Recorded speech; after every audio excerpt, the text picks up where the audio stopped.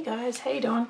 Today I am going to be making four placemats and I'm going to be using the Just Resin Candy in Ocean Blue and Titanium White with the DiamondCote for the resin.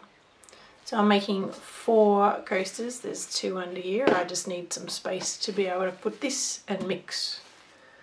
Alright, let's get started.